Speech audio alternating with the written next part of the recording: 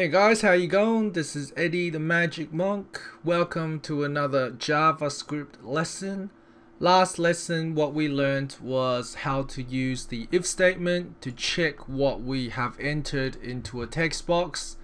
So if I type 15 here and click check, it tells me my answer is correct. Otherwise, it tells me my answer is wrong. So hopefully you guys have learned how to do that properly.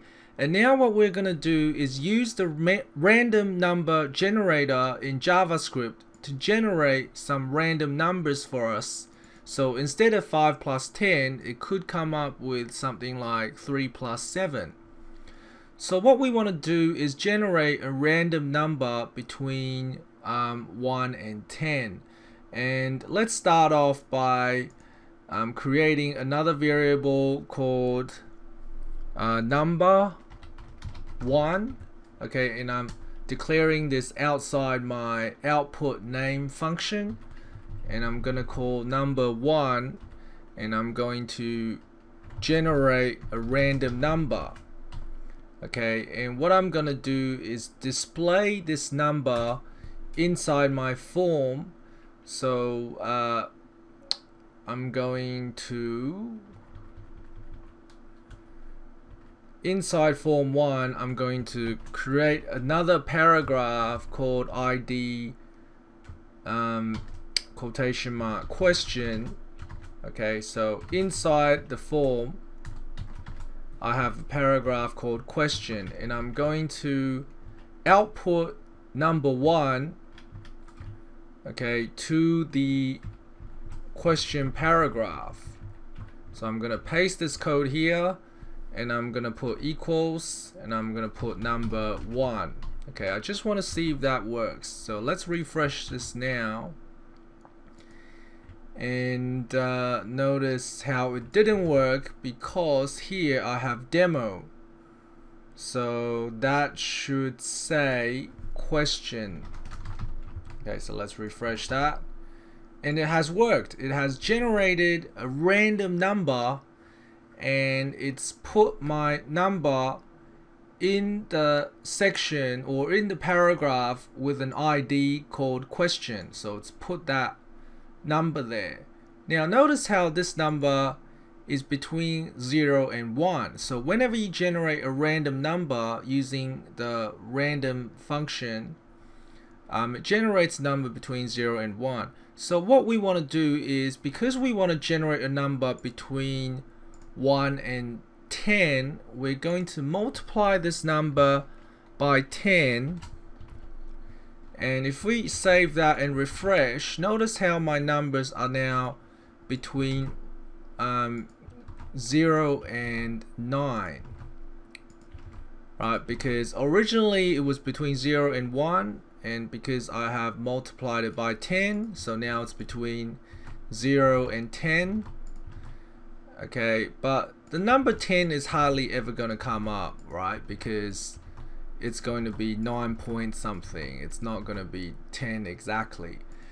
Uh, well not very likely. So what I'm gonna do now is round this number down. So I'm gonna round that using math.floor and what that does the floor function um, is going to round whatever number I have here down okay? So it's gonna for example here where it says 3.5 it's gonna round it down to 3 so if I refresh the page now um, there's all of these random numbers between 0 and 9 now okay? Because 9 point something has been rounded down to 9 so if I plus 1 in the final answer here oh sorry before I round it down then what's gonna happen is it's gonna give me a number between 1 and 10 okay? So the number 10 should pop up pretty soon hopefully. Um, let's just wait for it to come up. Number 10 see number 10 just came up. Uh, sorry if you have missed that. But anyway now we have generated one random number. Let's generate a second one so that's number one. Let's generate second number. Um, and now I'm going to output the screen number one quotation mark plus so number one plus quotation mark plus quotation mark plus number two and then plus quotation mark equals so what does this mean? This means we're going to output the variable number one um, and add it to the string plus and then we're going to output the number 2 variable and then we're going to put on the end of that the string equals. So if I refresh the page so if I refresh the page now I will get 2 plus 2 equals 5 plus 3 equals. So these are all totally random numbers so that is pretty cool Okay, now what I want to do is get rid of my old 5 plus 10 equals. Okay, so I'm getting rid of that.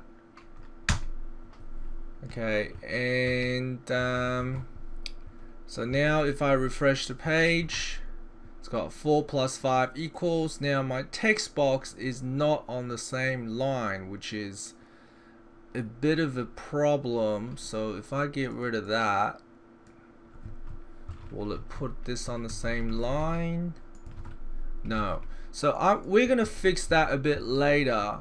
But the idea behind this tutorial is that we want it to generate some random numbers for us. Okay, and then when I type the number in and click check, hopefully it's going to be able to tell me whether my answer is right. Okay, so now instead of y equals 15 okay?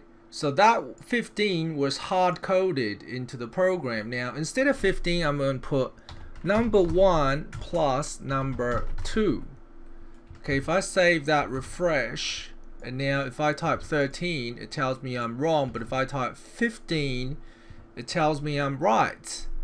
Okay and let's refresh the page again. 1 plus 7 is 8 check tells me I'm correct. If I put 3 check, it tells me I'm wrong. Okay, so now we have a random um, number generated quiz, which is pretty interesting. Okay, thanks for watching guys. See you next time.